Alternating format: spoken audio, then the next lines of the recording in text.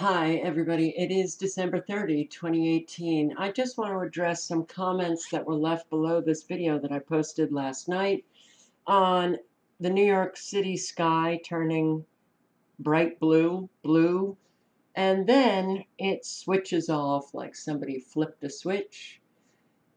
And those who left comments saying that lasers were blowing up these transformers in Louisiana and others who were leaving comments saying, no, they're lens flares. I have to agree with the lens flares. So whoever is saying that it's a laser, um, all right, this is the lasers that people are talking about, I guess. Those are lens flares from the camera. I've had that happen when I'm filming and when my camera goes into a bright light, it shoots off this flare. And yeah, so um, you can watch this compilation of electricity has so uh, has such amazing power, but as you can see, it, there's lens flares. Um, now, Someone also linked below to this video, and I don't understand it. Um, but I do want to show you right here. This was a video embedded in Mia's video. And watch how the blue sky goes off.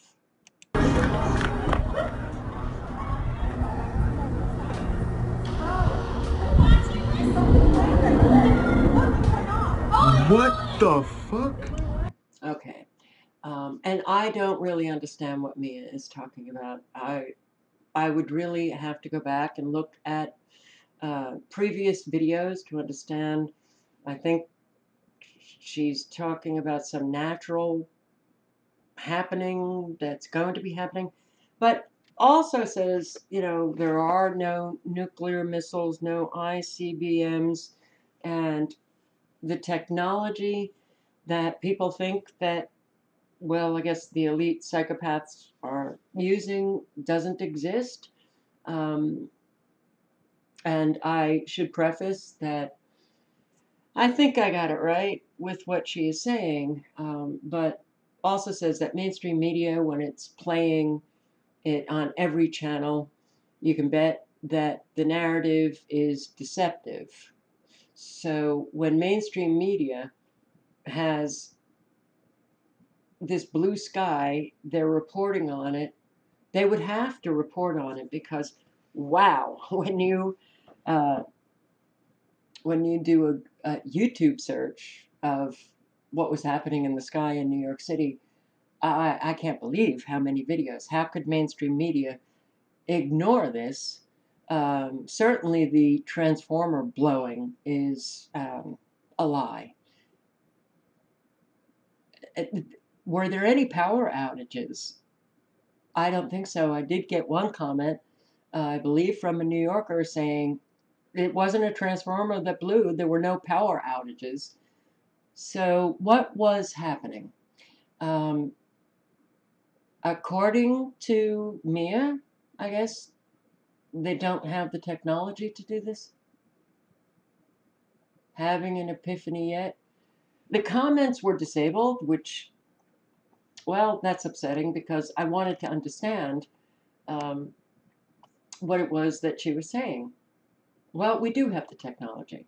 So I don't understand when people come out and say something definitively, are they on the inside with you know this knowledge that they have to come out and state something definitively what did i say?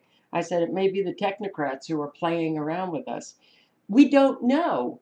We can do research. We could spend a lifetime doing research on one subject come up with a lot of conflicting information. That that is really you know the the trick you know to um, discern which direction to go. A lot of people have gone to the there are no nuclear weapons. Um, was the atomic bomb that was dropped over Nagasaki and um, Hiroshima, was that like a staged Hollywood movie for us?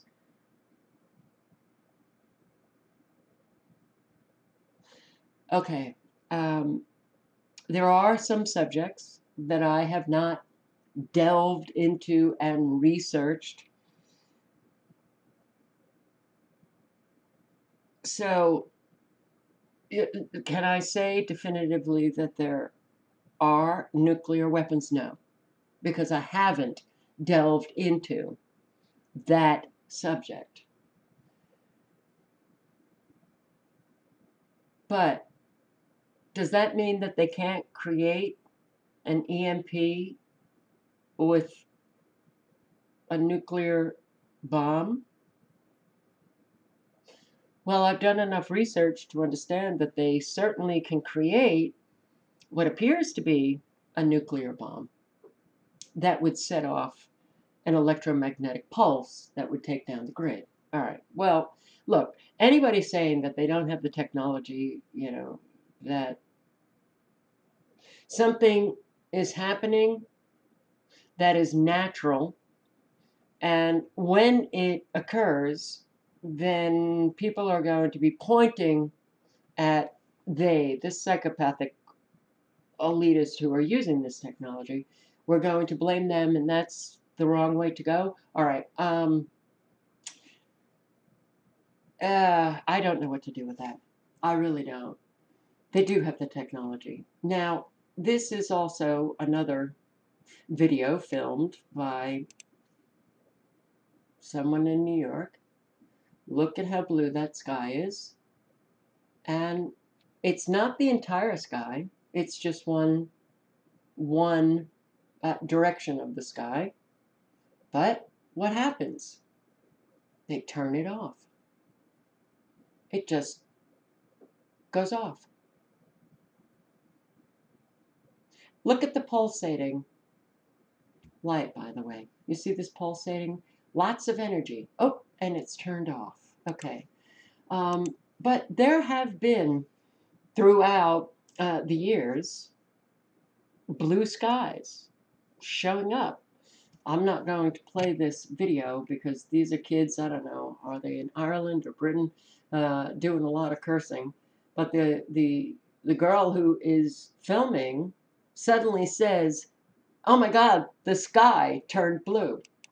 And it's black, as you can see, and then it turns blue. Wow. And then it only lasts for a few seconds and it goes right back to black. Um, here, another one. And I don't know where this is, but uh, looks very similar to New York, except New York, they were able to sustain that blue glow, whereas here, it only appeared for a few seconds. I have seen the night sky turn bright white or a similar bluish color to this in Kentucky, and these this was uh, back in 2009. This was October of last year. The Weather Channel explaining how the sky turns green.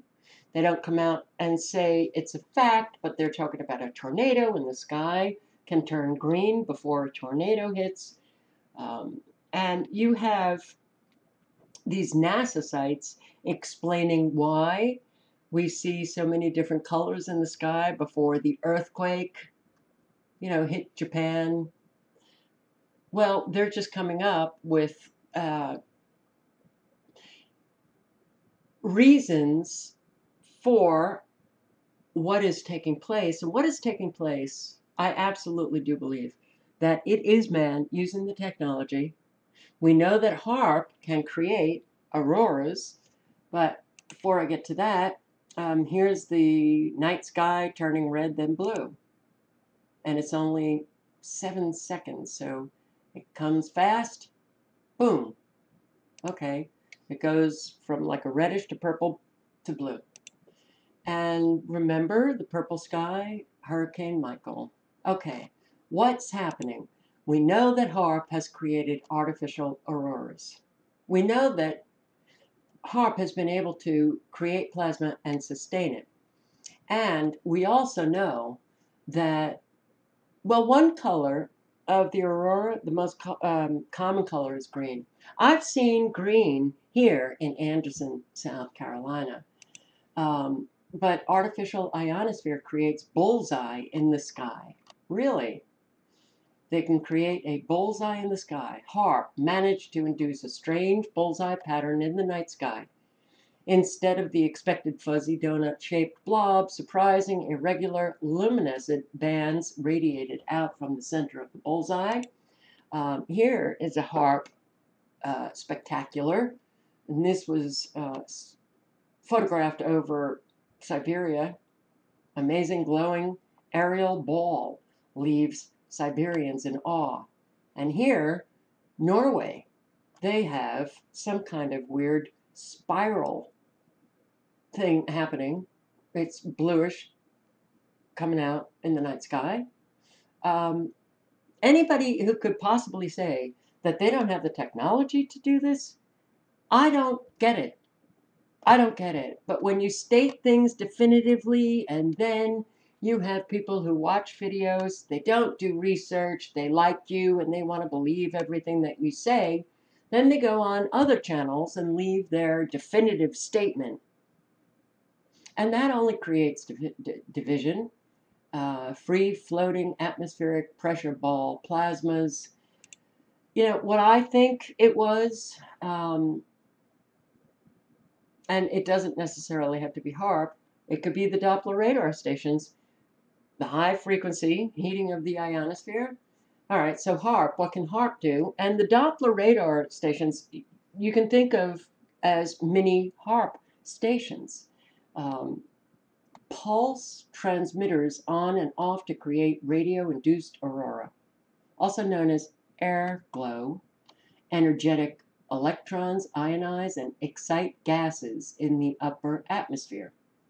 They release photons, and photons, like colors, light, they release photons when they de excite again. We're doing the process from below with high frequency radio waves, Doppler radar stations. Um, and another experiment was to create a temporary bright spot in the night sky that will be the size of a thumbnail at arm's length. And if you go to these images and scroll down, you'll find the night sky with a very bright red um, glowing portion of the sky. And I'm not going to look for it, but um, so when you do have the knowledge that these radio waves, the high frequency heating of the ionosphere, that they can create artificial auroras? Could they not create that blue? Could it be plasma? Um, particular gases will create particular colors. We know that they have been dumping an awful lot of chemicals and heavy metals into our atmosphere.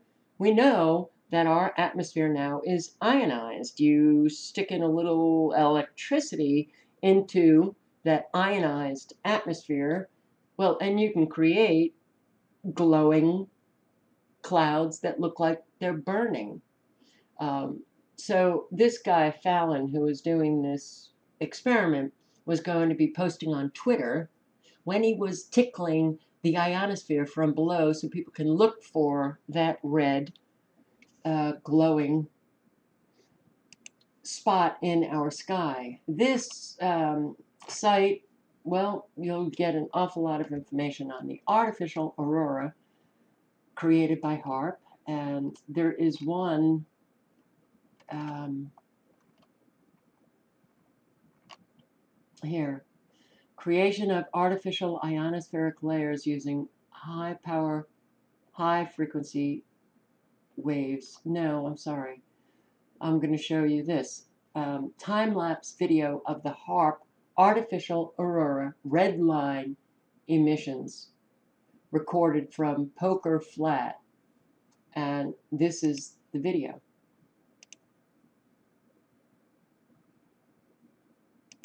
Anybody who can say we don't have the technology to create this is really, I just don't understand that.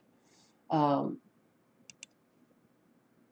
every gas has its own ionization energy. So when you ignite your plasma, you give energy to the electrons to move to the excited states, and when it releases to the ground states, it emits photons, light, and the wavelength of this photon indicates the color of the emitted light.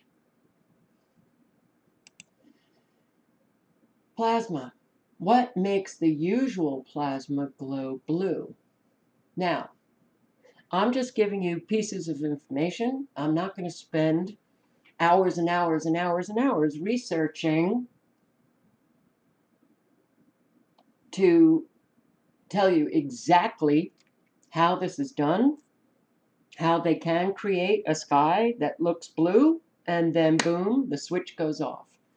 Um, but when you can just put together some of the information, you can generally, if you have a basis of knowledge because of the research that you have done, with HAARP and uh, the creation of the artificial auroras. And um, you also, when you understand that our atmosphere has, has been permanently altered, it's not going back. Um, and also, when you have here, I don't I don't get it. I don't get it. All right, so apparently, Mia also goes into stating that people are observing, you know, the different colors in our sky all over. All right, um, but I guess doesn't bring up the geoengineering, the microwaves, the ionized atmosphere, the dumping of lithium and chemicals and heavy metals and then hitting them with microwaves um, could very well create what you are seeing right there. You see all the microwaves in the sky. But apparently, all of this is an indication that something natural is going to happen. Well, I don't think so. Um, how do you explain the black? You know, the, the no, I've posted videos on the pink, and I believe that they have saturated our atmosphere to the point where now the saturation is just, we've overloaded our atmosphere to um, see now these pink and purple and well, whatever, uh, the gold colors. Um, all they need is, you know, electricity, um, electromagnetic frequencies to charge particles. And because the atmosphere is is now so overloaded with all of these very toxic heavy metals and chemicals. Um, that is what you are seeing. I don't think that this is uh, a indication that something natural is taking place here. You know, when you see all of the black carbon dust, and we know that they use black carbon dust for uh, to modify the weather, the coal ash, as well. Um, are people just going to simply deny that and, and claim that all of this is a natural happening? people are claiming that a planet is coming and all right well i can't go there. Um, i they do have the technology to create what you saw in over the uh, in the sky and you know over new york city.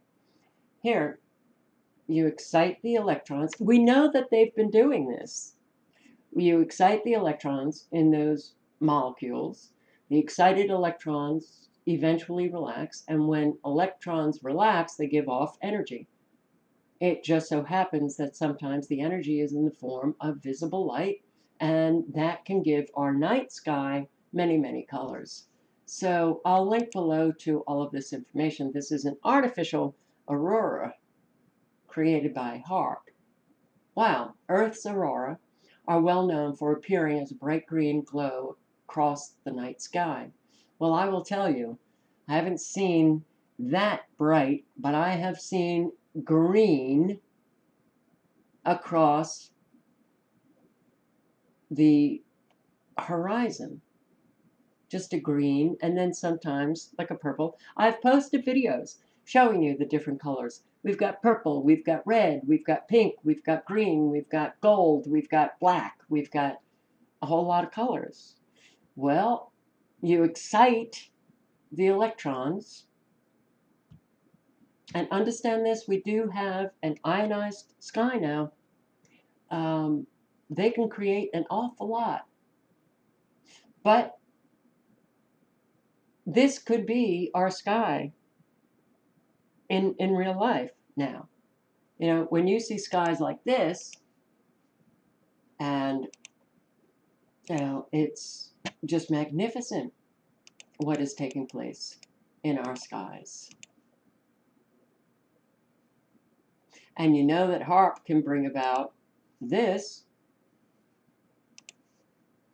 Yeah. Could our Doppler radar stations bring about this? Yes.